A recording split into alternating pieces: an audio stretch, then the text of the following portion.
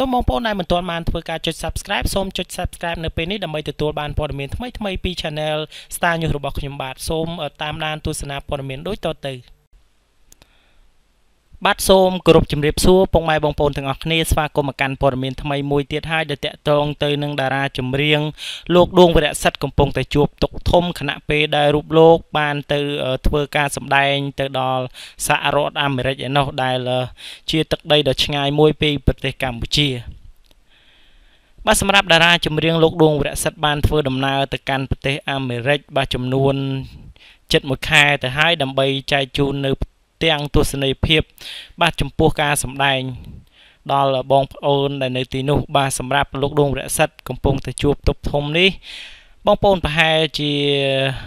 ចង់ដឹងហើយថាតើគាត់ជួបទុកធំនឹងគឺជារឿងអ្វីបាទដូច្នេះខ្ញុំធ្វើការអធិប្បាយជូនបងប្អូនទស្សនាក៏ដូចជាសម្ដាប់ដូចតទៅ បាទសម្រាប់តារាចម្រៀងសំនៀងលួងលោមលោកដួងរសិទ្ធត្រូវបានគេដឹងថាពេលនេះកំពុងតែស្ថិតនៅលើទឹកដីសហរដ្ឋអាមេរិកដើម្បីបំពេញភារកិច្ចសម្ដែងជូនបងប្អូនខ្មែរដែលរស់នៅទីនោះដើម្បីទស្សនា បាទខណៈពេលដែលខ្លួនកំពុងតែស្ថិតនៅលើទឹកដីសហរដ្ឋអាមេរិកនោះមុននេះបន្តិចស្រាប់តែតារាចម្រៀងលោកដួងវរៈសិទ្ធបានបង្ហោះសារនៅលើបណ្ដាញទំនាក់ទំនងសង្គម Facebook ពីទុកដ៏ក្រៀមក្រំមួយថា បាទពេលនេះខ្ញុំបាទពេលនេះថ្ងៃទី25ខែកញ្ញាឆ្នាំ2017 លោកយាយធំរបស់លោកទទួលនៅអនិច្ចកម្មហើយបាទមុននេះបន្តិច ដែលដំណឹងដ៏ក្រៀមក្រំនេះបានធ្វើឲ្យតារាចម្រៀងលោកដួងវរៈសិទ្ធកើតទុកយ៉ាងខ្លាំងពីព្រោះតែខ្លួននៅឆ្ងាយមិនអាចមកចូលរួមពិធីបុណ្យដូនជីដូនបាន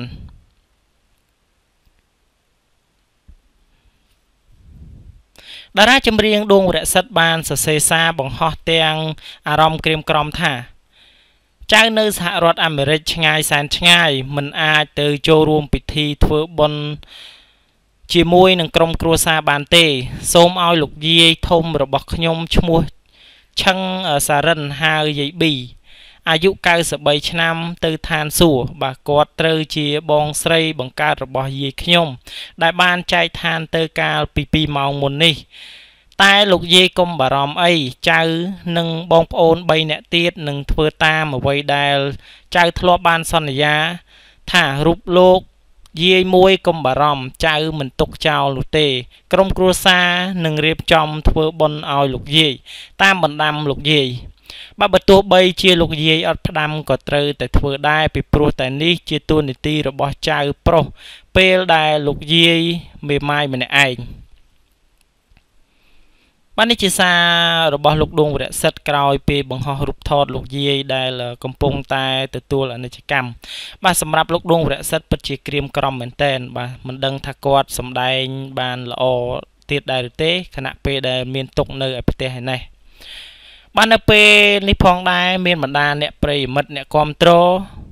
និងប្រិយមិត្តដែលនិយមលេងបណ្ដាញទំនាក់ទំនងសង្គម Facebook ជាច្រើនបានចូលរួមរំលែកទុកដ៏ក្រៀមក្រំនេះបាទពីតារាចម្រៀងកំ ពូលរបស់អឺ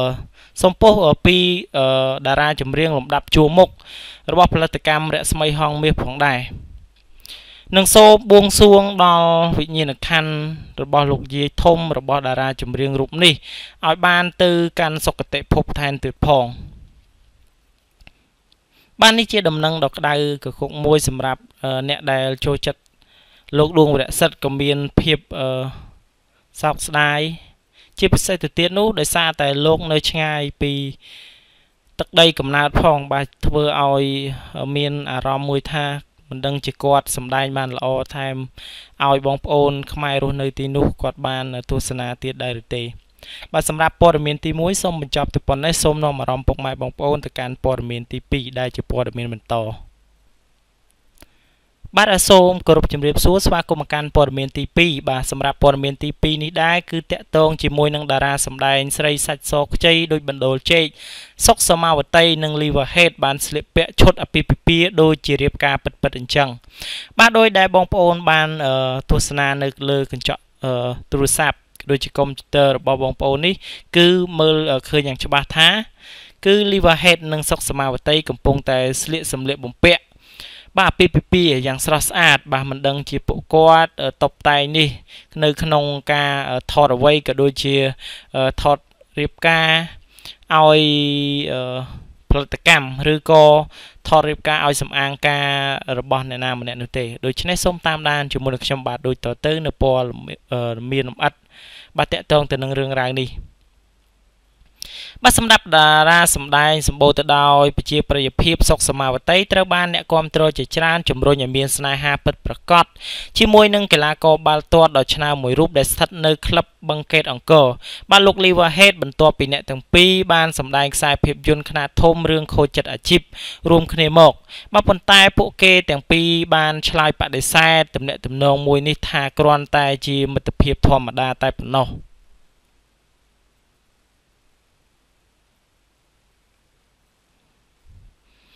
រហូតមកទល់នឹងពេលនេះតំណែងតំណងអ្នកមេម៉ាយរូបស្រស់សុកសមាវតីនិងកំឡោះសង្ហា Liverhead នៅតែជាទីចាប់អារម្មណ៍ពីសំណាក់អ្នកលេងបណ្ដាញតំណែងតំណងសង្គម Facebook ដដែល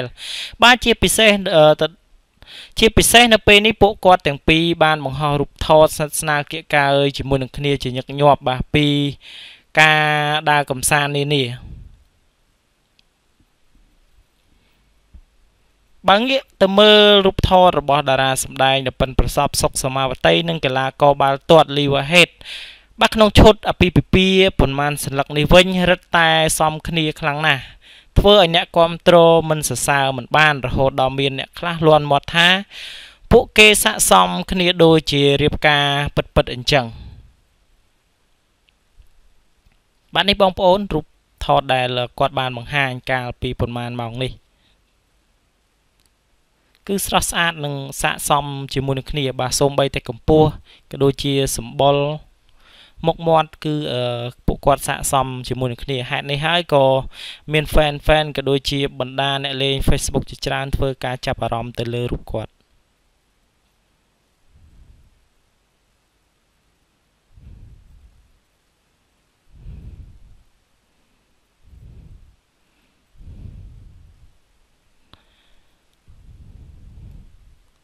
បាទរូបភាពទាំងអស់នេះគឺធ្វើការដកស្រង់ចេញពីគេហទំព័រប្រជាប្រិយដើម្បីចែកជូនបងប្អូន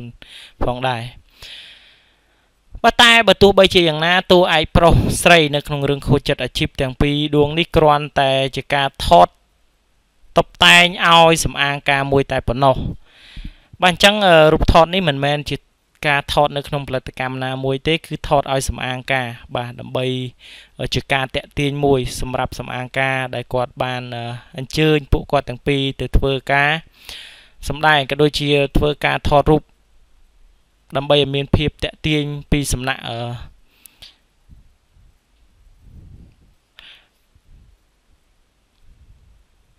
បាទសម្រាប់ព័ត៌មាន ទី2នេះក៏សូមបញ្ចប់តែប៉ុណ្ណេះបាទសូមនាំអារម្មណ៍ពុកម៉ែបងប្អូនទៅកាន់ព័ត៌មានទី3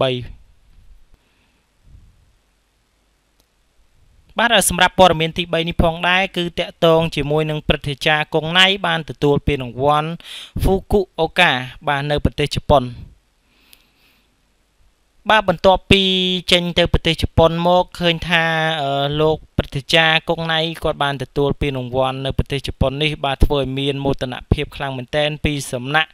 បាទក្រសួងវប្បធម៌និងវិចិត្រសិល្បៈដែលទទួលបាននូវកេរ្តិ៍ឈ្មោះនិងបណ្ដាប្រទេសមួយចំនួននៅក្នុងសកលលោកប្រកាសជាបានស្គាល់ប្រទេសកម្ពុជាកាន់តែខ្លាំងបាទចង់ជ្រាបច្បាស់ថាតើគាត់ទទួលបានពានរង្វាន់នេះដោយសារអ្វីសូមតាមដានជាមួយខ្ញុំបាទដូចតទៅ បាននៅរសៀលថ្ងៃទី24ខែកញ្ញាឆ្នាំ2017ម្សិលមិញនេះ លោកព្រឹទ្ធាចារ្យ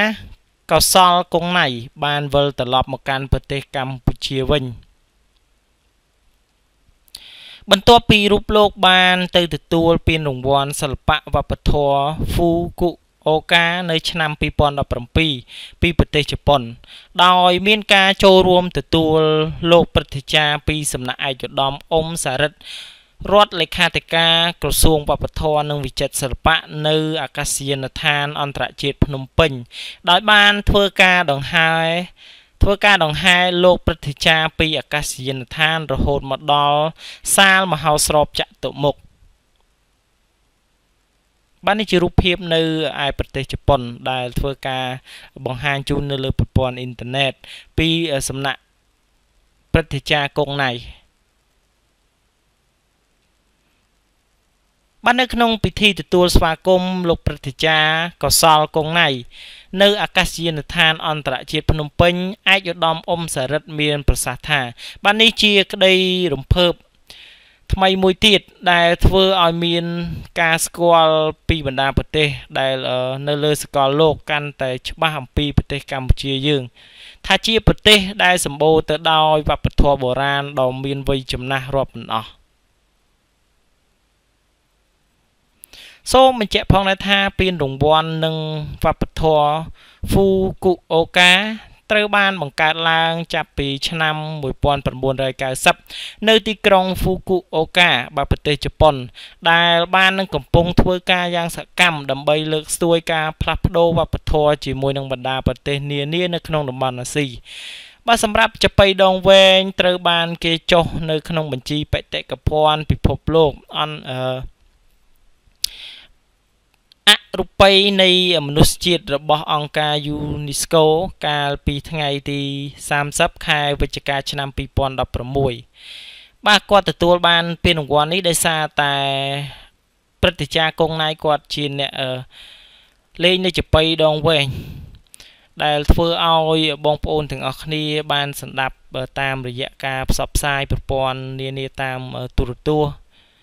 ប្រព័ន្ធអ៊ីនធឺណិតក្តីគឺតែងតែលើសំឡេងរបស់លោកព្រឹទ្ធាចារ្យរូបនេះ បាទបង្ហើរសំនៀងយ៉ាងពិរោះរណ្ដំបាទសម្រាប់ព័ត៌មានទី3សូមបញ្ចប់តែប៉ុណ្ណេះបាទសូមធ្វើការខន្តីអភ័យទោសរាល់កំហុសឆ្គងក្នុងការអធិប្បាយរបស់ខ្ញុំបាទបាទជាចុងបញ្ចប់សូមអរគុណរាល់ការចុច Subscribe របស់បងប្អូនទាំងអស់គ្នាដែលចូលចិត្តតាមដានព័ត៌មានពី Channel របស់ខ្ញុំបាទ